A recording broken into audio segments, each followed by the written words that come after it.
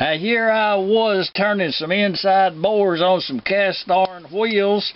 Got the job done, changing back to a three-jaw chuck from the four-jaw. While I had it broke down there, I think, you know, I ought to check the center line on this old. It's a Grizzly. Uh, G9972Z is the model.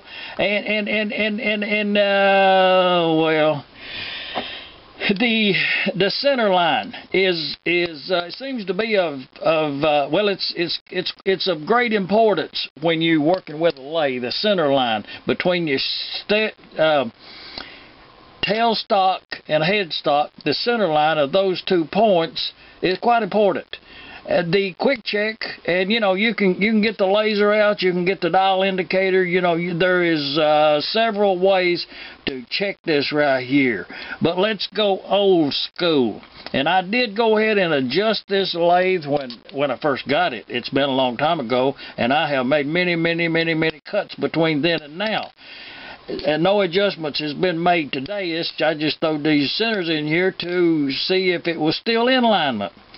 So uh, what I'm going to do is, uh, and what I've done is I cleaned them, I cleaned them bores out in there, and and I shoved them, I shoved that dead center up in yonder, and I cleaned this out and shoved that up in there good and tight and uh, I'm gonna run that. I'm gonna run the quill out there about one inch, and and I'm going to just kind of snug up on that up on that lock there, not tight, just a good snug, and I, and I'm going to run this up there to about uh, that's about an eighth of an inch right there, and I'm going to lock I'm going to lock the tailstock to the lathe.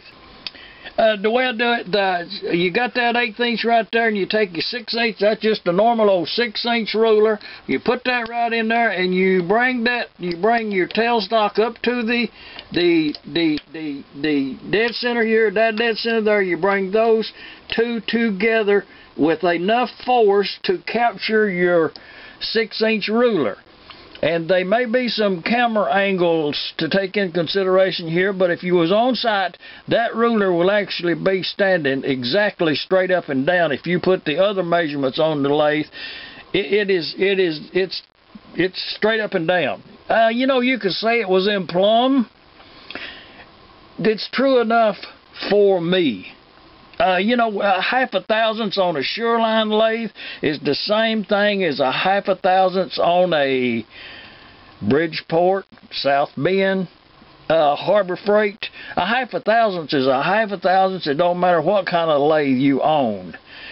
Uh, we got it up yonder like that. You say, well, that's you know well and well and true. What about what about if if if this center down here is higher or lower than this center up here? What what what if they are not in true?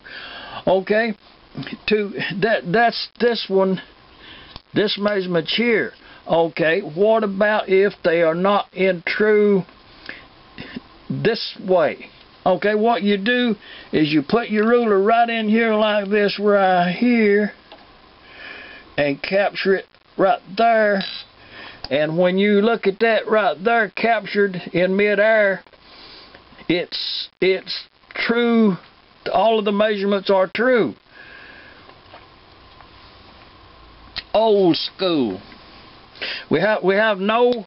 Uh, there, this is not resting on anything. It's not resting on anything out there. It's just captured in midair and if you do do, do the measurements from from any any turning angle or any any kind of measurements you need to make, then it's within it's within let's say a thousandths at least or less. It's good enough for here on the east coast of Arkansas. Now let's set that in free. Fun in the backyard shop. Let's get on with the show. I hear that 6:30 eastbound train. Uh, it's time to get this show on the road.